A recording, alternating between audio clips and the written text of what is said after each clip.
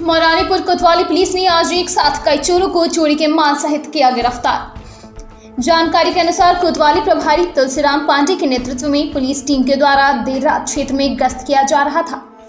उसी दौरान मुखबिर की सूचना पर पुलिस के द्वारा देर रात लगभग साढ़े तीन बजे ग्राम चीतावत मोड़ के पहले रसोई गैस एजेंसी के पास निर्माणाधीन दुकानों के आगे से चुरारा रोड पर पाँच अभियुक्तों को किया गया गिरफ़्तार।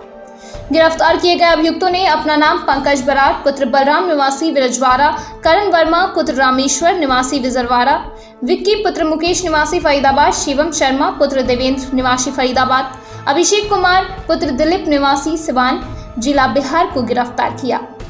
गिरफ्तारी के दौरान पुलिस ने अपराधियों के पास से इक्कीस हज़ार रुपए नगद, एक तमंचा, दो ज़िंदा कारतूस, सरिया, एक पेचकस, एक प्लास बरामद किया।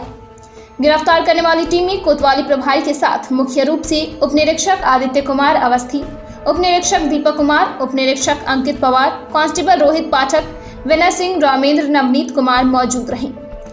पकड़े गए अभियुक्तों को मेडिकल परीक्षण के बाद जेल भेज दिया गया है। ब्यूरो रिपोर्ट, दिल्ली समाचार।